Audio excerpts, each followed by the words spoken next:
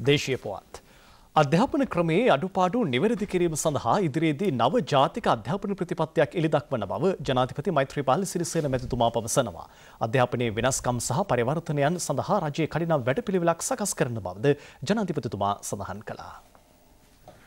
මෛත්‍රීපාල සිරිසේන මැතිතුමා මේ බව කියා සිටියේ ගාල්ල නිලුව ජාතික පාසලේ නව ශ්‍රවණාගාරය සහ තාක්ෂණ පීඨය සිසු අයිතියට පත්කිරීමේ අවස්ථාවට එක්වෙමින්.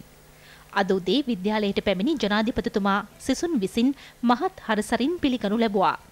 සමරු පලකය නිරාවරණය සහ තෙමහල් ගොඩනැගිල්ල විවෘත කෙරුණේ ජනාධිපතිතුමාගේ ප්‍රධානත්වයෙන්. තාක්ෂණ පීඨය නිරීක්ෂණය කළ ජනාධිපතිතුමා සිසු දරුවන්ගේ දක්ෂතා ඇගීමට ලක් කළා.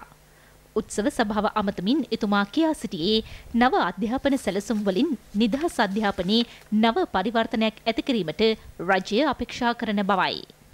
අද අපේ නිදහස් අධ්‍යාපනය ශක්තිමත් කරන්න මේ වගේ තාක්ෂණාගාර නව ගොඩනැගිලි ඒ සම්පත් ලබා දීම මේ කරනා වගේම අප ඉදිරි කාලය තුල අපේ නව අධ්‍යාපන සැලසුම් තුල මේ රටේ නිදහස් අධ්‍යාපනයේ පුළුල් පරිවර්තනයක් අපේ ඇති කිරීමටයි ප්‍රධාන වශයෙන්ම සැලසුම් කරන්නේ.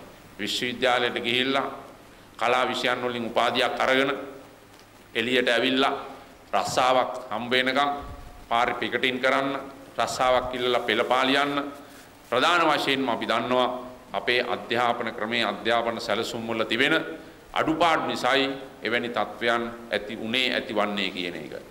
අපේ අධ්‍යාපනයේ වීතු වෙනස්කම් සහ පරිවර්තනයන් සඳහා නව රජයක් විදිහට අපි බලාපොරොත්තු වෙනවා අධ්‍යාපන විශේෂඥයින් ජාතික අධ්‍යාපන ආයතනය ජාතික අධ්‍යාපන කොමිසම මේ ආයතන එක්ව අලුත් විශේෂයෙන්ම අද තිබෙන අධ්‍යාපන ශේෂ්ත්‍රයේ අඩුපාඩුකම්. සකස් කළා. වඩාත් අදට වඩා නිවැරදි විධිමත් නව ජාතික අධ්‍යාපන ප්‍රතිපත්තියක් ඉදිරියේදී එළි දක්වන්නට.